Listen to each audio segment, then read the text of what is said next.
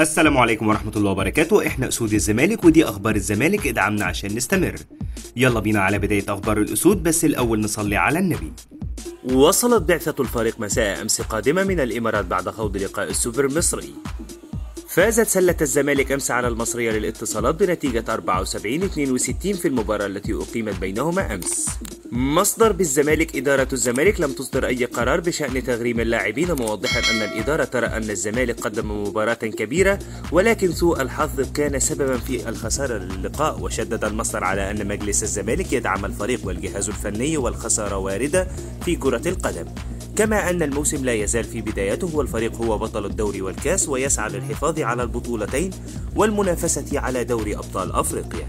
من المقرر أن يبدأ الزمالك تدريباته اليوم الأحد للقاء بالمرتقب وسيبدأ الجهاز الفني بقيادة فيريرا في علاج السلبيات والأخطاء التي وقع فيها اللاعبون في لقاء الأهلي لتلافي تكرارها في مباراة الدوري. مصدر بالزمالك إدارة الزمالك ترفض نهائيا معاقبة شيكابالا خاصة وأن اللاعب لم يخطئ في أي شيء وعدم تسلمه الميدالية لتواجده مع مؤمن زكريا لاعب الأهلي. وشدد على أن شيكابالا تعرض لاستفزازات وهتافات معادية من جانب جماهير الأهلي وما فعله اللاعب. كان رد فعل فقط وفي النهاية تصالح شيكا مع سيد عبد الحفيظ مدير الكرة بالأهلي. كشف مصدر بالزمالك عن سر اختفاء مرتضى منصور عن المشهد في الساعات الماضية بعد خسارة السوبر المصري وأكد المصدر أن مرتضى غاضب بشدة من فريرا ويعتبره المسؤول عن الخسارة بسبب بعض القرارات الفنية خلال المباراة وأشار إلى أن مرتضى فضل عدم الحديث ليلة المباراة لعدم الإدلاء بأي تصريحات فعالية تؤثر على مسيرة فريرا مع الفريق في الفترة المقبلة حيث نصحه بعض المقربين بضرورة التزام الهدوء خاصة وأن الجمهور نفسه عبر صفحات التواصل الاجتماعي هاجم فيريرا وحمله المسؤولية ولم يهاجم أي شخص الإدارة من الأساس.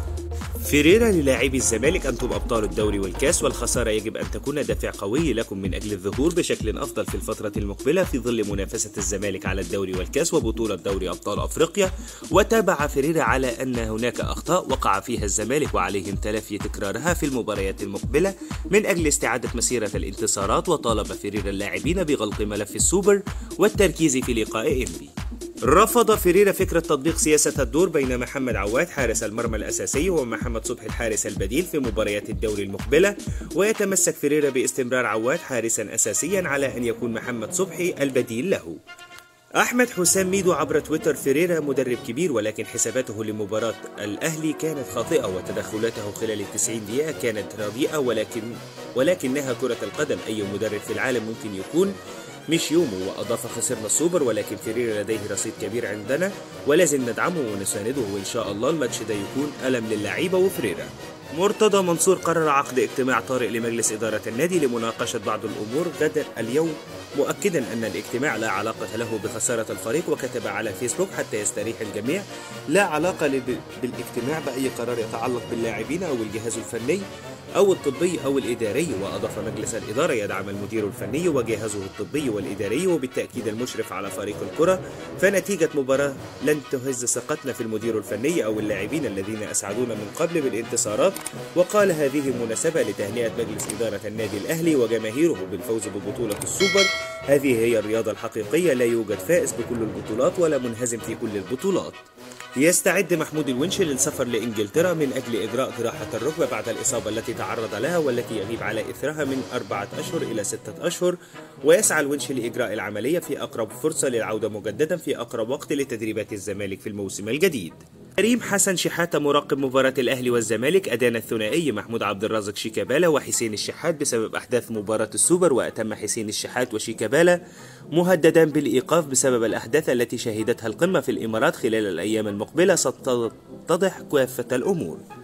هاني حتحوت فيريرا غاضب من زكريا الوردي بعد خطأ السوبر وفي نفس الوقت المستشار مرتضى منصور رئيس الزمالك لم يطلب تجميد اللاعب وتابع فيريرا أخبر المقربين منه أنه حذر الوردي من تلك الأخطاء وهي التدخل بشكل متهور وخسارة الفريق لتغيير بجانب التمرير تحت ضغط وهو سبب غضب فيريرا من اللاعب وأوضح من الصعوبة أن يشارك الوردي في مباراة إنبي القادمة في الدوري والتي ستظهر الطريقة التي سيعتمد عليها فيريرا خلال المباريات القادمة. أحمد شوبير لا يوجد مساس بالجهاز الفني أو الإداري في نادي الزمالك ولا فريق كرة القدم وواصل تعودنا على وجود المؤتمرات الصحفية والمداخلات التلفزيونية بعد المباريات ولكن حتى الآن لا يوجد مساس بفريرة أو جهازه وأتم لافتة رائعة من مجلس إدارة نادي الزمالك بتوجيه التهنئة لمجلس إدارة النادي الأهلي ونتمنى استمرار الروح الرياضية بين المجلسين واللاعبين في الفريقين. شوبير ناس كتيرة بتسألني على كهرباء الأهلي سجل كهرباء بس المشكلة مش مشكلة فلوس الأهلي عن أعلن عن قيمة عقد الرعاية وهي الأعلى في تاريخ مصر بقيمة حوالي مليار ونص. مع حقوق البث وتابع الأهلي تمسك بكهرباء وسجل ولكن إيه اللي هيحصل؟ الكلام رايح جاي بين كهرباء وبين غرامة النادي أصبر ولما تيجي لينا فلوس هنسدد مين هنسدد؟ أنت يعني يا كهرباء اللي هتسدد ووصل كهرباء متبقي ليه من عقده القديم 10 مليون جنيه وهياخد مبلغ محترم من العقد الجديد يسدد به وشدد كل تأخيرة فيها خيرة كل تأخير فيه زيادة على الأهلي اللي هم 5% والدولار بيغلى كل يوم الغرامة كانت حوالي 36 مليون جنيه بعدين بقت 40 مليون ودلوقتي بقت أكتر من 50 مليون. هل الأهلي هيفضل بيت بيتأخر على هل الرعاية هتدفع هتدفع كلها لكهرباء؟ هل كهرباء هيرحل في يناير؟ وأضاف هل من الممكن يكون في صيغة تفاهم بين الزمالك وكهرباء؟ وعلى موجبها يتم الدفع. شوبير هقول معلومة هتبقى مفاجأة. كهرباء لجأ للقضاء المحلي بتهمة تزوير العقد وبيقول إن العقد اللي اتسجل هو العقد القديم ومفيش عقد جديد وأتمه في عند وفي عنده اقتراح تاني بالتفاوض مع الزمالك هو كهربا شخصيا يتفاوض ويدفع لأنه زهق وعاوز يلعب. القصة مطولة ومش هتتحل دلوقتي. بس كده هي دي كل الأخبار اللي كانت معانا النهارده عن نادي الزمالك. أتمنى الفقره تكون خفيفه على قلبكم. ادعمونا ب like الفيديو و subscribe للقناة ومتشكر لكم جدا على دعمكم. سلام.